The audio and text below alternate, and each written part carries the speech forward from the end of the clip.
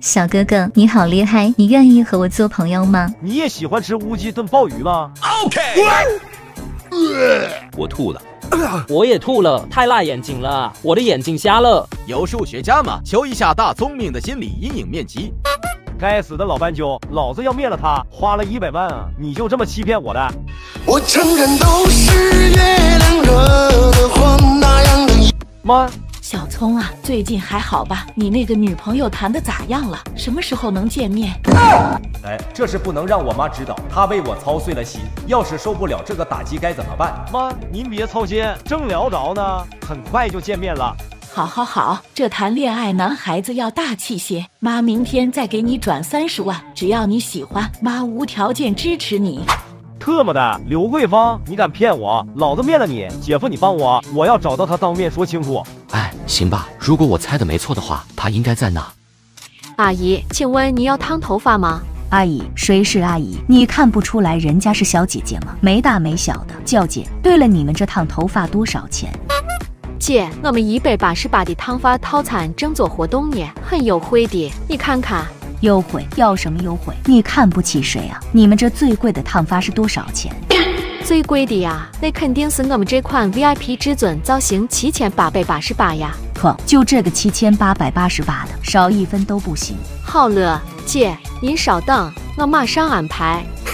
我的天，哪里来的土豪啊？今天走大运了！我操，这大款装的！姨妈，什么头发要七千八百八十八？这怕是要给头发镶金吧？什么镶金？这他妈是镶钻，好不好？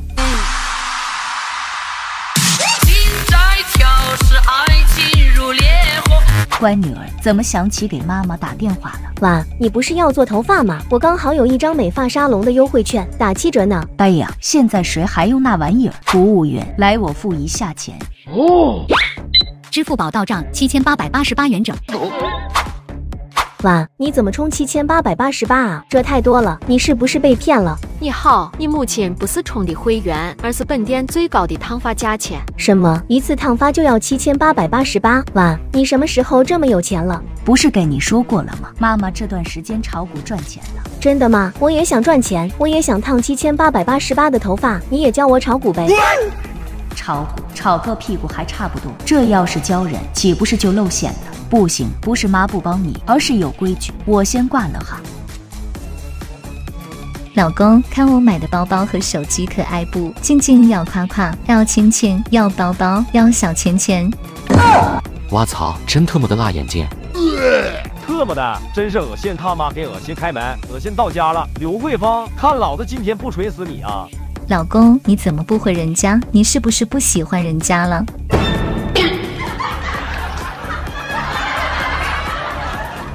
铁柱，加快速度，我们去揭开这个女人的真面目。好的，老大。哟，我们的大忙人回来了。出去偷人很好玩吗？你嘴巴放干净点！我什么时候偷人了？我热烈的马，七千八百八十八的头发你也敢烫？这新衣服、新包包哪里来的？还有这新手机，这可是水果最新款，要两万多呢！你还敢说自己没偷人？这些钱是大风刮来的吗？雷震宇，你个混蛋，说老娘偷人，你有证据吗？没有就别在这下比比。证据？烫头发的钱哪来的？买包包、买手机的钱哪来的？如果不是偷人，你他妈还在马路上捡的不成？我我炒股赚的不行。炒股？炒你妈的股！我看你是炒的个屁股吧。说那个男的是谁？今天要是不说出来，老子就打死你这个贱人！老娘我还怕你不成？有本事你砍我一下试试！你以为自己是拼夕夕啊？还砍你一刀？有本事你砸我一下试试！你找死！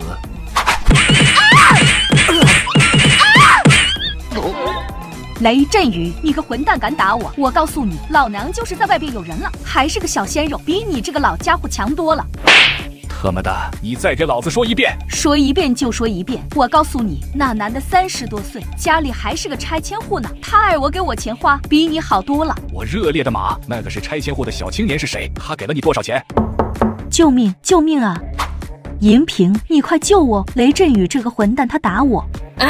你们两个这是怎么了？都几十年的老夫妻了，怎么还动手动脚的？这个贱人他红杏出墙，他有一个三十多岁拆迁户的姘头。我太难了，银萍怎么来了？千万别被他知道这件事啊，不然就完了。雷老哥，我看你是不是老糊涂了？三十多岁的青年，而且还是拆迁户，他找桂芳这样的大妈，他脑子有问题吧？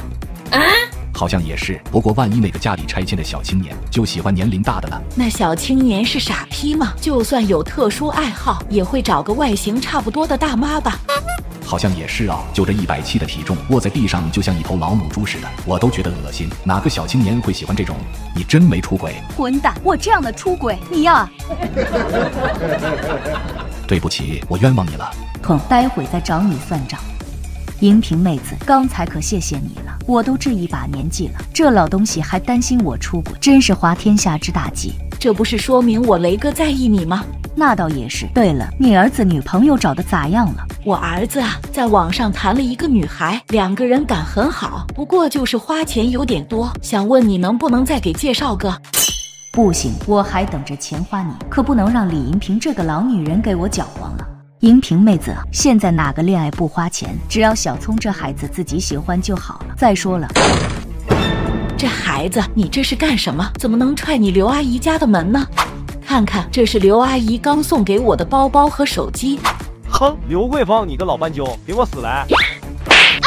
你这是干什么？小兔崽子，你给我住手！